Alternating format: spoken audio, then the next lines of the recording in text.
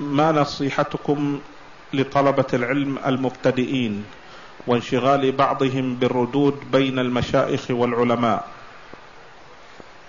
عليهم أن يطلبوا العلم أولا على المشايخ إما في حلق الذكر التي تكون في المساجد وإما في المدارس والمعاهد والكليات دراسة النظامية.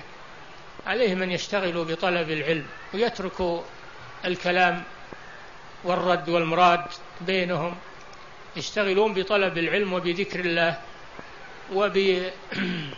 وبالنصيحة بعضهم لبعض وترك الغيبة والنميمة والجدال الذي يشوش الأفكار ويحقد القلوب بعضها على بعض. طالب العلم يجب أنه يكون مصلح بين الناس. فكيف هو يفسد بين الناس؟ ما يجوز هذا. ما يجوز للمسلم. فكيف بطالب العلم؟ الواجب أن يكون طالب العلم يتسم بالإصلاح بين الناس وتسوية النزاعات بينهم. هذا هو الواجب. ومناصحة المخطي هذا هو الواجب على طالب العلم. Nah.